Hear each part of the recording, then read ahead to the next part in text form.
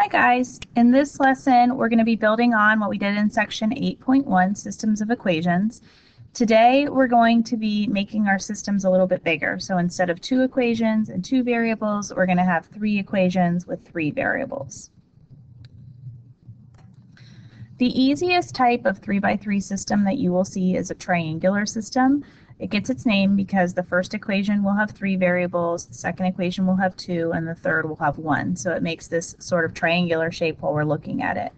To solve a triangular system, we're just going to use substitution methods. And we're going to start with the simplest equation, the one that has the least amount of variables, and then work our way up. So we'll start with the bottom equation here.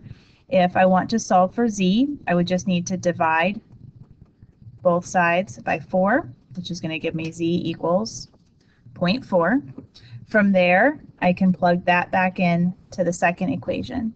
So I would have 2y plus 3 times 0.4 equals negative 0.6. 2y plus 1.2 equals negative 0.6. If I subtract 1.2 over, I'm going to have negative 1.8. And then if I divide by 2, y equals negative 0.9. So there's my z and my y. And now I can take both of those and plug them into the top equation to solve for x. So 5x plus 10 times negative 0.9 plus 10 times 0.4 gives me 0. Simplifying, I'll multiply here. I've got 10 times negative 0.9, that's just negative 9 and 10 times 0.4, which is just 4. Putting those together gives me a negative 5. Add 5 to the other side. Divide by 5. x equals 1. So my solution here is x is 1, y is negative 0.9, and z is 0.4. You may also want to write this as a three-dimensional point. Three-dimensional points instead of x and y just look like x, y, z. So here that would look like 1, negative 0.9, and 0.4. If you want to check your answers, just like in the last section, you can plug all three of these numbers back into the original equations and they should work in all of our equations. So what does this mean when we have three equations and three variables? Two equations and two variables are two lines that are intersecting. Three equations and three variables um, are planes that are intersecting. And we're still looking for the intersection of the planes in this case that will give me my solutions. So what we're going to do on the next three slides, you don't really need to put any of this in your notebook. We're just going to discuss the different things that can happen geometrically when you have three planes that are intersecting. So think of a plane like a piece of paper. And if we have three pieces of paper at different angles, kind of hanging out in space, um, there's six different possibilities. The first possibility is what you see um, on the top picture here. And I'll see if I can draw an arrow to it. There we go. Um, so this is the case where all three planes would intersect at a single point. So you could think of this almost like a three-dimensional plane, and in the center there is our origin, maybe. Um, the second possibility is all three planes will intersect on a single line. So if that happens, then we have infinitely many solutions because there are infinitely many points on that line. So any point on the line would be considered a solution. The third case is if the three planes are on top of each other. This is also infinitely many solutions, but this time anything that is on the plane, not just a single line, is considered a solution.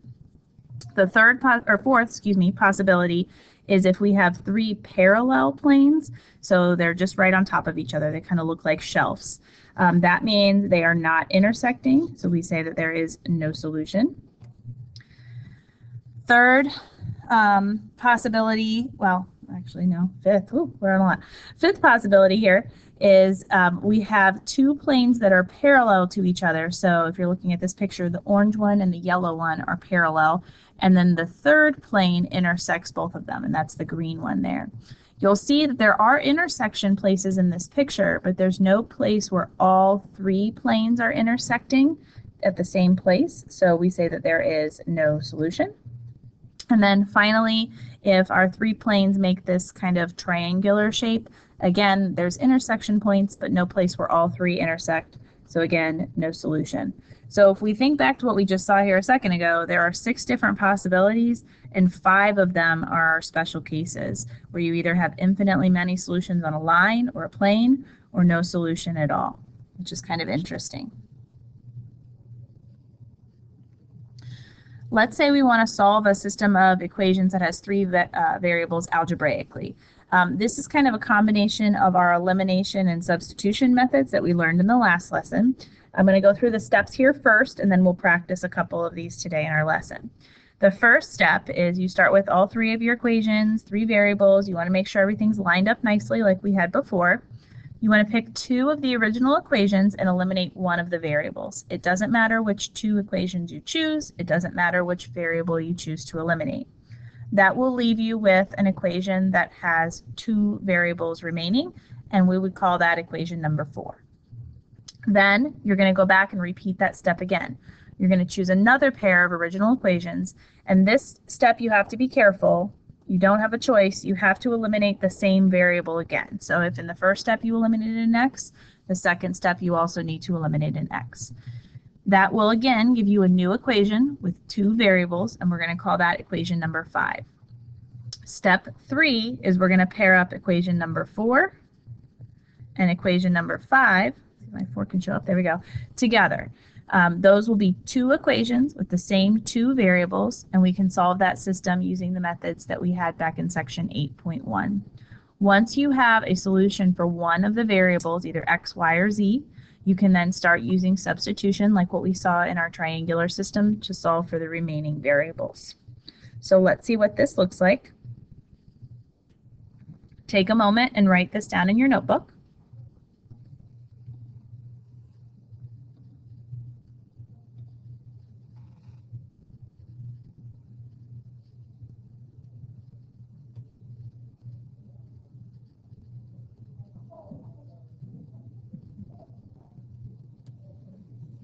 Okay, so let's go through this together.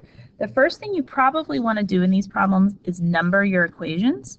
So I'm going to call this first guy equation number one, the second guy equation number two, and the third one equation number three.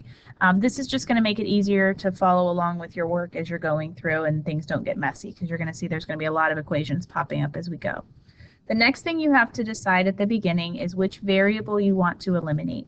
So let's say I want to eliminate x's as I go through. So I'll just put a little asterisk by my x's. Step one says pick two of the original equations and get rid of a variable. So I'm going to start with equation one and equation three. But there's no rhyme or reason to that. You can pick it however you want. I'm going to go ahead and write my equations down. 3x plus 9y plus 5z is 14 and x plus 2y plus 2z equals 3. My x can show up better there. There we go. I want to eliminate x's, so we're going to use elimination. The easiest way to do that in this problem is multiply the bottom by negative 3. So that would give me a negative 3x, a negative 6y, a negative 6z, and a negative 9. Make sure you multiply it through the whole equation add your equations together. My x's will cancel, y's will give me a 3y, z's will give me a negative 1z, and then 14 and negative 9 gives me a 5 on the other side. This new equation we've created, we're going to call equation number 4. Now let's repeat that process again. We're going to go back to our original equations. This time I'm going to use equations 2 and 3. Again, you can pick any ones that you want except for 1 and 3 because we already, already used those.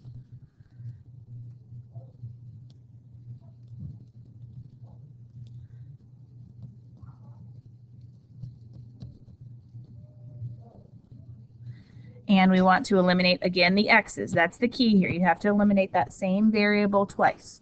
So I'm going to multiply the bottom equation by negative 2.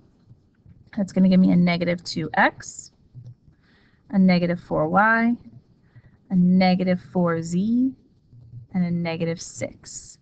Add my equations together. This is going to give me equation number 5. X's cancel. I have a negative 3y a negative 3z, and then 9 negative 6 give me a 3.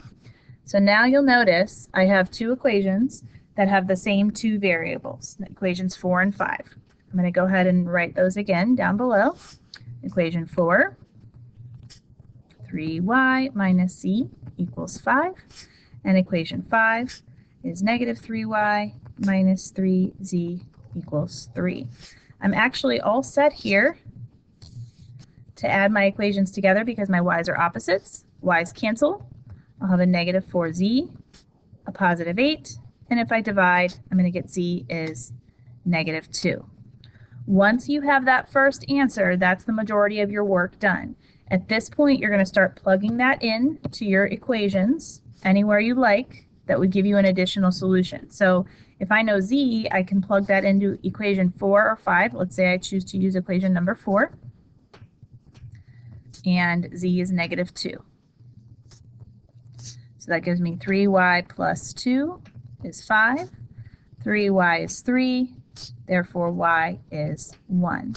And then finally, I'm going to need to go back to one of my original equations and solve for x. So let's say I use equation number 3. x plus 2 times y, which is 1, plus 2 times z, which is negative 2, equals 3. X plus, I'll have 2 and negative 4, which will give me a negative 2 altogether. And then if I move that negative 2 over, I'm going to get x is 5. So my final solution here is the three-dimensional point 5, 1, negative 2. If you want to check it, plug all three of those values into all three of the original equations and make sure it works. One more today in this lesson, and then we'll continue this tomorrow. Same thing, I'm going to go ahead and number my equations here. Equation number one, equation number two, and equation number three. I'm also going to choose which variable to eliminate. Here you'll notice there's already a z missing in the top equation. So if I choose to eliminate my z's, I'm actually going to save myself one of the steps in this process. Because remember, the goal is to get rid of variables to make it easier to solve. So if you pick the variable that has some pieces missing, you're going to save yourself a little bit of work. If I want to eliminate the z's, that means my only choices are equations 2 and 3. So let's write those down. x minus 3y plus 2z equals 1 and negative x plus 2y plus z equals 7. I want to eliminate my z's, which means I'm going to need to multiply that bottom equation by negative 2. If I distribute that in, I'll have a positive 2x, a negative 4y, a negative 2z, and a negative 14. Add my equations together. This is going to be equation number 4. 3x, negative 7y, z's cancel, negative 13. Now, because one of the z's was already missing in that first equation, we can skip step two in the process. I don't have to pair up another set of the original equations. We already have two equations with the same two variables. Equation number four, 3x minus 7y equals negative 13, and equation number one, 2x plus 5y equals 1. And now I can go ahead and solve that using elimination. I'm going to multiply the top equation by 5. And I'm going to multiply the bottom equation by 7. So that's going to give me 15x, negative 35y, and negative 65 on top.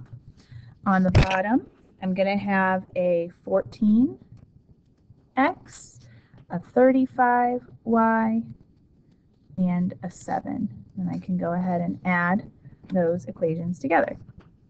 So that's going to give me a 29x. My y's cancel and a negative 58. If I divide both sides, I'm going to get x equals negative 2. And there's my first solution. If I plug that back into equation number 1,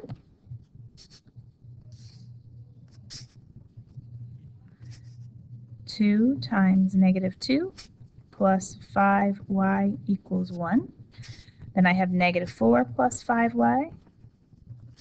If I add the 4 over, 5y equals 5, so y equals 1. There's my second solution. And finally, to get my last solution, I would have to plug x and y both into equation 2 or 3. Let's say I use equation number 2 would work. So that would be x, negative 2, minus 3 times y is 1, plus 2z is 1. So that means I have negative 5 plus 2z is 1. Add the 5 over, 2z is 6, and that means z is 3. Final answer for this problem is negative 2, 1, and 3. We'll continue our 3 by 3 systems tomorrow.